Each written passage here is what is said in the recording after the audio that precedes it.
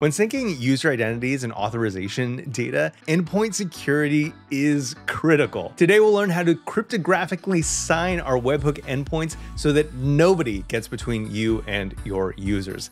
Let's dive in to securing webhook endpoints. On screen, we have our convex http.ts file, which defines all of our public routes. We created this WorkOS webhook handler in a previous video, which you can see in the card above or in the description below. It is currently unsecured. Our job today is to fix that using this WorkOS events documentation, specifically this section on validating requests using the Node SDK. For starters, we'll wrap everything that we have in a try catch, and in the catch case, respond with a generic 500 error. Note that these errors do show up inside of the WorkOS dashboard, so it will benefit you to be as descriptive as possible in your responses. Now, back to this try block. Instead of parsing the data directly, I want the plain text. We can get that by calling request.text. The next piece of data we need is from request headers using the WorkOS signature key. We'll then run a convex action, providing the body text and signature header as arguments. The function we're calling is internal.workos.verify webhook.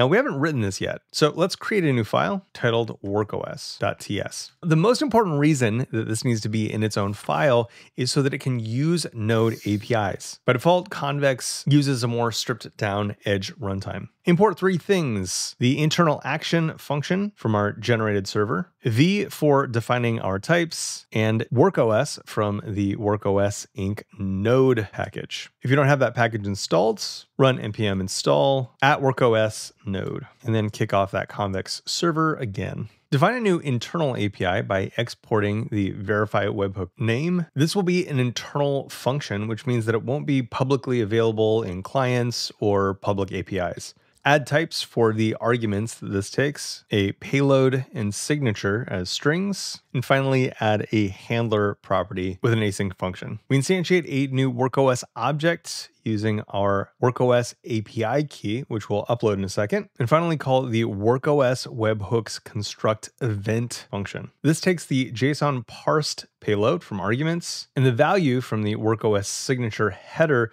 which includes some timestamps. Rounding it all out, we provide a webhook secret that is specific to this webhook in WorkOS. Let's save this and go to the WorkOS dashboard to find those keys. First, we'll grab the signing secret used to secure our webhook and then grab our WorkOS API key. Background code, we can set these as environment variables. And note that while this is a global API key, this secret is specific to our one webhook. If you plan to use more than one webhook, you may need to further differentiate this. Now, these values are not automatically synced with our convex dev deployment. We can set these values in convex by calling npx convex env set with the key and value, or by navigating to our convex project under Settings, Environment Variables. Add, paste, and save. Run npx convex dev again to get our syncing going. And this is good to test. Let's actually open these side by side, navigate to our webhooks page, and send a test event. This event failed and we can visit our logs to see which parts of the function failed. Our verify function wasn't called at all, and that's because I forgot to hook it up inside of our HTTP module, where it remains undefined. So let's import that from our generated API internal. And with that squiggly line away, I feel confident that this is set up correctly. Back in our WorkOS dashboard, we can actually resend this same event where we get a 200